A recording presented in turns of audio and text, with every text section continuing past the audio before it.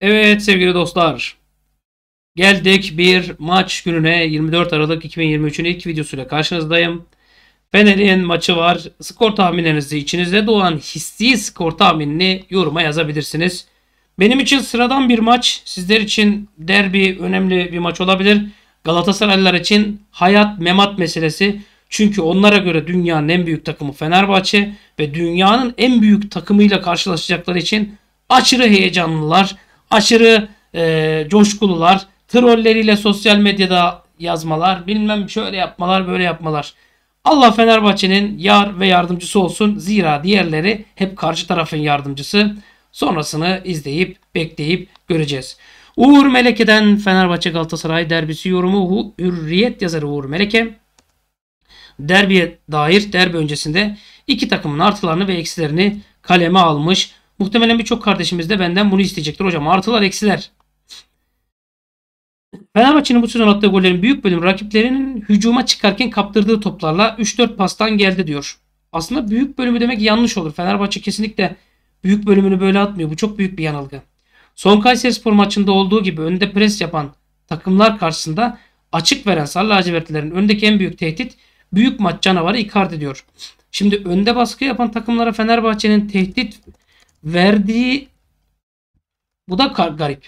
Bak önde basan takımlara Fenerbahçe maçın ilk belki 15 dakikasında maçı dengeleyene kadar tehdit verdirdiğini düşünüyor. O 15 dakikada rakibi bunaltıp yorup yorgunluğunu e, iyice üstüne çöktürüp 15'ten sonra başlıyor şov yapmaya ki bunu biz birçok maçta gördük. Onu da hatırlatayım. Galatasaray'ın en güçlü yönü hakemler. Şey, hücumda top kaybettiğinde kazanma konusundaki ustalık harika bir defans ikilisi olan Sarı Kırmızıların diyor. Çok iyi birer ön liberosu ve santraforu var. Ancak Okan Buruk süreklilik sağlayamadığı en önemli yer santrafor arkasındaki görev yapan üçlü diyor. Şimdi bu kadar övüp de süreklilik sağlama. 65 yıllık Süper Lig tarihinde Fenerbahçe Galatasaray'ın her ikisinin birden bu derbiye maç başına 2.69 gibi fantastik bir puan ortalamasıyla gelmişlikleri yok. Yine 65 yıllık Süper Lig tarihinde iki takımın ilk 32 maçta toplam sadece 10 puan kaybettiği bir başka sezonda yok diyor. Ben şunu söyleyeyim. Sağ olsun hakemler yardımcı olmasa bu kadar Galatasaray'a bu puan farkı çok çok fazla olur da neyse. İlk 16 haftalar itibariyle lig tarihinin en dominant ikilisi bu Fenerbahçe ve Galatasaray diyor. E, hep birlikte tanıklık edeceğiz. Bu tarihi derbi ediyor. Fırsatlar, üstünlükler, tehditler, zayıflıklar analizleri yapmaya çalıştım. Üstünlük Fenerbahçe 3-4 pasla gole gitme alışkanlığı diyor. Bunu anlattı zaten. Ee, ve Fenerbahçe topu kaybettiği yerde kalabalık olabilen bir takım. Tabii ki bu noktada Fred'li ve Fred'siz diye ayırmak lazım. Fred'siz bu oyun biraz zayıfladı gibi diyor. Galatasaray'ın geri kazanmasını söyledi zaten. Zayıflıklar Fenerbahçe prese yanıt kabiliyeti diyor. Geçtiğimiz hafta Kayseri'de ben oyunu iyi okuyamadığı görüşündeyim. Hani estağfurullah bir Uğur Melek'e kadar futbolu bildiğimi söyleyemem. Ama ben o tam okuyamadığı görüşündeyim. Serdar Ciku ikilisi hatalar yaptı diyor. Cardozo'nun golünde Serdar'ın maç eksikliği göze çarptı. Bekao'nun olmadığı süreçte Fenerbahçe'ye karşı baskı yapan takımlar şöyle böyle falan. Bir kere Bekao'nun topla haşır neşirliği sıfırın altında. Yani presle karşılaştığında Bekao'nun yumurtlama ihtimali daha yüksekti. Onu da belirteyim. Şimdi Samet Osterwolde ikilisi sıkıntı yapmıştı diyor. Baskı yapan takımlar bunlara sıkıntı e, sebep olmuştu. E, Galatasaray 4-2-3-1'in 3'ü diyor yani eksikliği. Kalede güvenli, stoperler iyi diyor. Üçüncü seçeneğim iyi, mükemmel diyor. Çok iyi ön libero, çok iyi santraforu var. Ancak süreklilik sağlayamadığı yer ileri üçlü. Forvet hariç ileri üçlü pardon. Yani Mertens 10 numarada daha mobil. Okan Hoca Kerem Aktürkoğlu ve Zaha'yı aynı anda sahada tutabilmek için Mertens'ten feragat ediyor demiş. E, haliyle yabancı kuralı, Türk kuralı diye de bir olay var. O da ayrı bir mesele. E, Kerem'in etkinliği 10 numara rolünde azalıyor. Karagümrük maçı açıklayıcı bir örnek.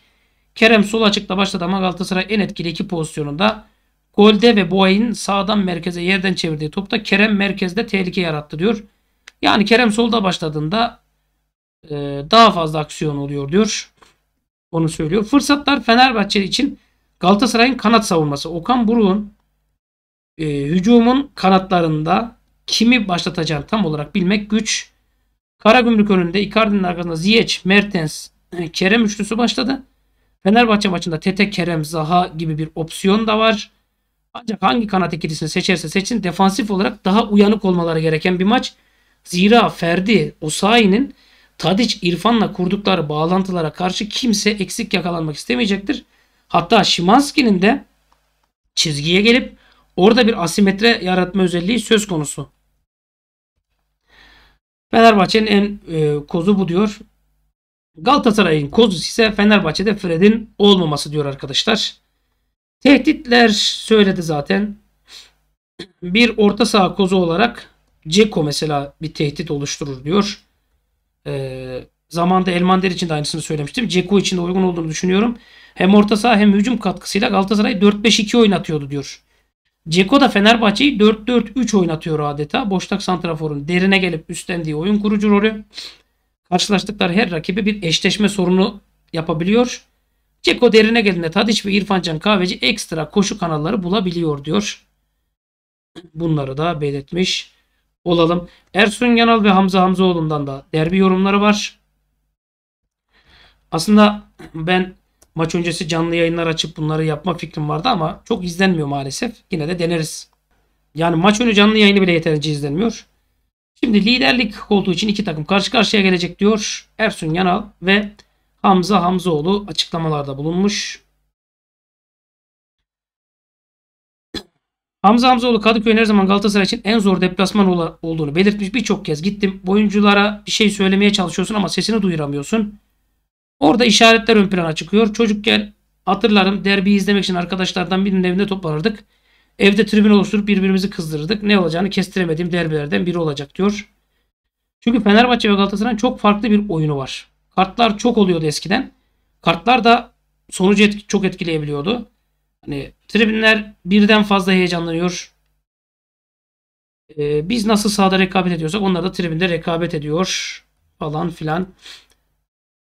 Şöyle böyle. Ersun Yanal stada çıkışta Mohikan marşıyla heyecan başlar diyor. Dünyanın en güzel derbilerinden biri stada çıkışta Mohikan marşıyla heyecan başlar. Derbi bayram demektir. Yani bambaşka bir heyecan oluyor ülkede. Ne olursa olsun başka takım tutsalar bile Fenerbahçe veya Galatasaray sempatisi o derbide oluşuyor. Her iki takım da eşit puanda rekorlar kırarak bu noktaya geldiler diyor Ersun Yanal. Hani derbilerin havasını yaşayan kazanıyor diyor. Bence maçın kilit cümlesi bu. Ve yani doğru söylüyor derbinin havasını yaşayan 398. randevu arkadaşlar. İki takım arasında 114 yıllık rekabette Fenerbahçe'nin 148'e 127 galibiyette üstünlüğü bulunuyor. İnşallah bugünkü maçla birlikte 149'a 127 olacak. Ve Cuma günkü maçla birlikte 150'ye 127 olacak bu galibiyet sayısı arkadaşlar. Gol sayısında 540'a 496 üstünlüğü bulunuyor Fenerbahçe'nin. Bugünkü atılacak 4 golle birlikte 544'e 496 olacak inşallah. Ee, Cuma günü atılacak gollerle birlikte de 546'ya 496 olacak inşallah arkadaşlar. Ee, ve 398. kez karşılaşacak. 17 Ocak 1909 tarihinde yapılan Galatasaray'ın 2-0 kazandı. Gerçi onlar saymıyorlar. 59 öncesini saymadıkları için onların galibiyetleri sayılmıyor. Fenerbahçe şu kadar attı. Ligde 133. sınav 132 kez karşı karşıya geldi iki takım. Fenerbahçe'nin galibiyette 52-37 üstünlüğü bulunuyor. Bugün 53-37 olacak inşallah. Ligde 43 maç beraberlikte sonuçlandı. Sarı lacivertler 162 Galatasaray 130 gol kaydederken bugünkü bir gollerle birlikte 166'ya 130 olacak. Son 10 resmi maç 4'ü beraberlikle sonuçlandı. Buraya dikkat etmek lazım. Fenerbahçe'nin 2 Galatasaray'ın 4 galibiyeti var. Hani e, bir uzun süredir yaptığımız baskıyı nasıl diyeyim size hegemonyayı biraz avans vererek heyecanlandırmış olmuş olduk. Ama merak etmesinler. Fenerbahçe tersten saplar. Dev derbide Fenerbahçe'nin konuğu Galatasaray aynı zamanda bugün oynanacak müsabakayı Galatasaray Futbol Federasyonu'ndan Galatasaraylı hakem Arda kardeşler yönetecek. Ben Arda kardeşlere sadece küçük bir uyarıda bulunuyum. Gördüğünü çal, görmediğini çalma. Maçı adaletle yönet ya da yönetmeye çalış. Benden tavsiye. Hani başına iş alma. Hazır bu kadar ortalık karışmışken Bir de seni konuşmayalım. Hani bunca şehit falan filan varken sen hiç hükmündesin zaten. Seni kimse adam yerine koyup da ligi migi de ertelemez. Aman başına da şu iş gelmiş vah vah yazık da demezler. Aklın varsa, beynin varsa, azıcık Türksen, azıcık şehitlere şuna buna saygın varsa çık şerefli bir şekilde maçını yönet. Kimse senin arkandan da konuşmasın önünden de. Anlatabiliyor muyum? 10 maçlık galibiyet serisiyle sezona başlayan Fenerbahçe rekorlar kırmıştı. İsmail Kartal'ın ekibi Trabzonspor'a 3-2 mağlup olduktan sonra birazcık sekteye uğradı. Sonrasında Adana Demir'le berabere kalıp ardından çıktığı 4 maçta Fatih Karagümrük'ü, Sivas Sporu, Beşiktaş'ı ve Kayseri Sporu yenmek başarısını gösterdi. Şimdi e, burada da şunu belirteyim arkadaşlar. Fred yok. Mert Hakan cezalı. Pekka ve Zayt yok Fenerbahçe'de. Bu kadar sakatla sahaya çıkıyor Fenerbahçe. E, hani bilin istedim. Ayrıca bunların hiçbiri numara, rol, taktik, sahtekarlık, yalancılık, e, ahlaksızlık, edepsizlik de değil. Net verilerle belli bu sakatlar oynamayacaklar. İlginç notlar var arkadaşlar. Çok ilginç şeylere rekabet ediyor. İlk golü şu attığı Papaz'ın çayırı. Fenerbahçe ilk galibiyet için 5 yıl bekledi. Union Club sahası şöyle oldu böyle oldu. Feto Club ne lan? Feto Club tövbe tövbe. Ee, tarihteki ilk golü Hasan Kamil Sporel attı. Zeki Rıza Sporel'in kardeş herhalde. En az ve en çok seyircili maçlar şöyle böyle falan filan. Ee, rekabetin golcüleri Fenerbahçe'de Zeki Rıza Sporel en golcü isim. Galatasaray'da Hakan Şükür mü? Yok Arif Erdem mi? Fenerbahçeli Alaaddin Baydar izledi. Lefter Küçükon'dan Yadis'in 20. Galatasaray'da Metin Oktay'ın 19 gollü bulunuyormuş. Hakan Şükür'ün daha fazla diye hatırlıyorum ama FETÖ'cü diye mi yazmadılar? Bu arada Tanju Çolak 14'ü Galatasaray 8'i Fenerbahçe formasıyla 22 golü var. Lig maçlarında Galatasaraylı Metin Oktay 9, Aykut Kocaman 8 golle en golcü isimler. Turgay Şeren'in rekoru var diyor. En çok oynama rekoru. Özlem dolu yıllar. Birbirine üstünlük kurmakta zorlandığı yıllar oldu diyor. 18 ayda statta karşılaştılar. İnönü, Ali Samiyen, Fenerbahçe, Taksim, Şeref. Şeref stadına nasıl gelebilmişler? Yeni Erzurum, Offenbach, Frankfurt, Köln, Mönchengladbach, Borussia Park, Kayseri Büyükşehir Belediye, Kadir Has, Manisa 19 Mayıs, Antalya statları. Heyecanı iki takımda da yaşayan bir sürü futbolcu var. Raşit Çetin, Çetiner, Güngör Çetin, Erdoğan Arıca, mesela Engin Verel, tanıdık gelir muhtemelen. Mehmet Oğuz, başka İlyas Tüfekçi, Tanju Çolak, Selçuk Yula, Allah rahmet eylesin. Semih Yuva Kur'an, Hasan Vezir falan var. Ee, Saffet Sancaklı falan filan. Şener Özbayraklı. Aa Şener Galatasaray'da da oynadı değil mi? Serdar Aziz, Tolga Ciğerci, Geri Rodriguez falan diye gidiyor. Bir maçta 4 gol atanlar e, Fenerbahçe Zeki Rıza Sporel falan diyor. En çok görülen sonuç 1-0 diyor. En farklı sonuç Fenerbahçe'nin 6-0'lık galibiyeti. Öyle palavra değil, atmosfer değil. Yok Fenerbahçe'nin stadında ama Ali Samiyen stadyumunda. Yok maç Kadıköy'de ama yani şeye geçemediler, karşıya geçemediler. Yok maça 7 kişiyle başlandı ama geçemeyen arkadaşlar nasıl geldilerse bir şekilde gelmişler. 11 kişi tamamlamışlar. Ha, bu tip palavralar değil. Net, görüntülü, kanıtlı bir şekilde mevcut. Ha Fenerbahçe 7-0 kazansa eminim Mirya Kefalan Savaşı'ndan 5 dakika önce de 8 kişiyle 8-0 yenildiğimiz palavrasını üretirler. Normal yani. 6-0'lık maç. En gollü maçlar 4-4'lük bir maç var Türkiye Kupası. Yarıda kalan tarihi kavga 1934 yılı diyor.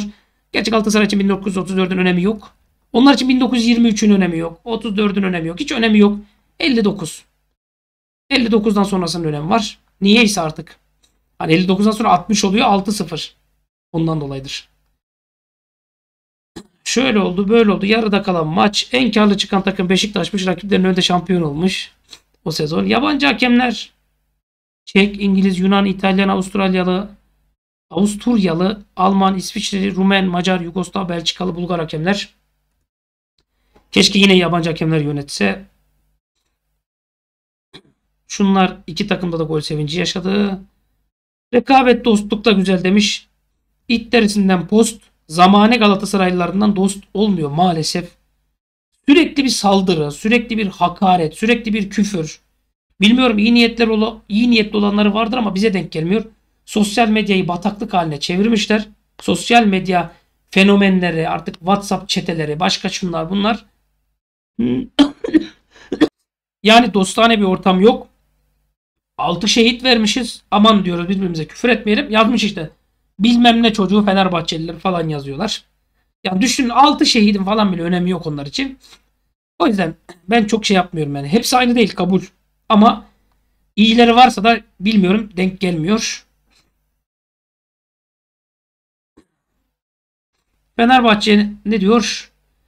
Bir derbi öncesi Fenerbahçe baş, baş kaptanı Galip Kulaksızoğlu Galatasaraylılara Ober'le kardeşler hasta. Hasan da sakatlanmış. Sizi karşımızda eksik kadroyla görmek istemiyoruz demiş. Bak sizi eksik görmek istemiyoruz. Dilerseniz maçı erteleyelim demişler. Galatasaray kabul etmiş. Oyuncular iyileşmiş. Fenerbahçe 6-1 maçı kazanmış. Şimdi de Fenerbahçe oyuncusu oynamasın diye Zorba'yı falan görevlendiriyorlar. Beraber ev kiralayıp ava çıkmalar, e, ertelemeler şu oldu.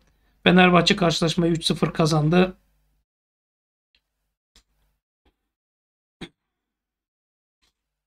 Bak mesela 17 Kasım 1922'de yapılan maç öncesi ilginç bir durum yaşamış. Kadıköy'de iki takımın maçı var. Maç öncesi günlerce yağan yağmur sahayı adeta göle çevirmiş. Fenerbahçe baş kaptanı Galip Kulaksızoğlu Galatasaray kulübüne telefon etmiş. Saha çok kötü maçı erteleyelim demiş. Galatasaray baş kaptanı Necip Şahin de anamız bizi bugün için doğurdu demiş. Gelmişler Fenerbahçe maçı 3-0 kazanmış. Ama onlara göre saçma sapan bir maç var 7-0 bitmiş. Birleşme durumu ortak takım kurma düşüncesi olmuş. 1912 yılında şöyle olmuş böyle olmuş. Bilerek kaçırılan penaltı var. Vatan Kupası. Fenerbahçe penaltı kazanıyor. Atış öncesi stadın büyük balkon kısmı çöküyor. Fenerbahçeli Cafer Çağatay da penaltı atışında bilerek topu kaleciye teslim ediyor. Karma takım Fener Saray diyor 1934 yılında Türkiye'ye davet ettikleri yabancı takımlara birer kez hazırlık maçı yaptıktan sonra 3. maçı Fenerbahçe Galatasaray karması olarak oynuyorlar. Lacivert, sarı ve kırmızıdan oluşmuş forma. Can Aydın'ın centilmenlik dersi diyor. 6-0'lık maçta bir centilmenlik dersi var. Ee, rakibin attığı golleri alkışladı diyor. Allah rahmet eylesin. Bu centilmenlik gösterisi nedeniyle camiasında bazı taraflara tepki gösterisi Dünya Fair Play Konseyi tarafından 2002 Dünya Fair Play ödülüne layık görüldü diyor. Ayrıca bu davranış nedeniyle Türkiye Milli Olimpiyat Komitesi tarafından düzenlenen Fair Play sportif davranış ödülünü de aldı diyor. Öncelikle şunu söyleyeyim. Kavgalardan, gürültülerden, kırmızılardan, sakatlıklardan uzak bir maç olsun Fenerbahçe adına. Ha Galatasaray bunu istiyorsa başında bulsun, kendi futbolcusunda bulsun inşallah. Ama e, iki takımın da sadece futbola düşün, futbolu düşündüğü, futbol oynadığı, hakemin Galatasaray'dan ya da Fenerbahçe'den değil Allah'tan korkarak maç yönettiği, iki takımı da şiddete, taraftarlarını şiddete, kaosa, çatışmaya, iç savaşa şuna buna değil de maç bitiminde şu şöyleydi, bu böyleydi, şu keşke şu oynasaydı, bu keşke bu oynasaydı gibi şeylere yönelten bir maç olsun. İyi oynayan, hak eden kazansın, iyi oynayan, hak eden ve kazanan Fenerbahçe olsun inşallah. Skor tahminlerinizi yazın. Görüşmek üzere.